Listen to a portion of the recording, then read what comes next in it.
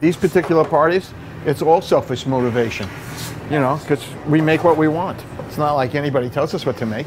We're so busy having other people tell us what they want and what we make, and we, you know, we make menus for them. This is all about us.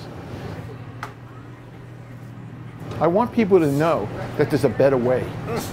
In order for us to be a healthier society, we really need to know who our farmer is. And I'm trying to introduce everybody to our farmer down the street here. The food is simple. We don't do too much to it. We just start from scratch and build. I'm not this famous great chef. I just know how to put shit together.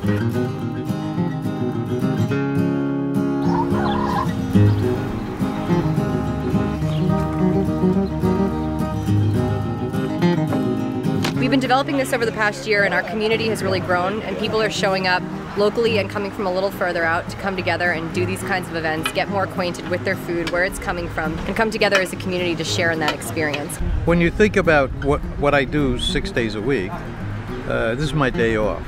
I like to share it with people. I think the, the most profound political statement you can make as an individual is deciding where you're going to spend your money. I love to support an uh, endeavor like this because we're supporting local farms and a, and a local businessman, and then there's good eats in the end when you buy locally, especially at a farmer's market, it helps promote the farms and also you get healthy food and delicious food.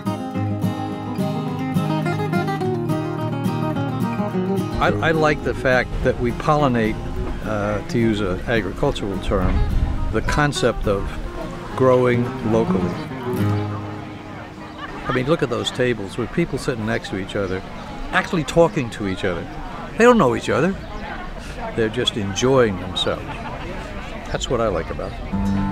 Everything was extraordinary.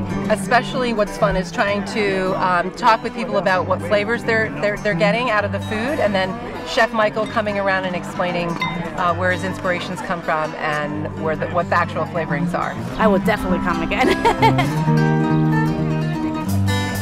Overall, we had a great day, you know, great turnout. Music was great, food was great, ambiance was great, drinks were great. All in all, very successful. I think everything went really, really well. Cesar did a bang up job with timing. The food was excellent today. I think people got the idea that I'm all about sustainability. Everything we had here came from this farm, so I can't ask for anything else. You know, it was a great time. I had fun. I got to talk to everybody, and this is good. And we're still having a good time. Okay? All right.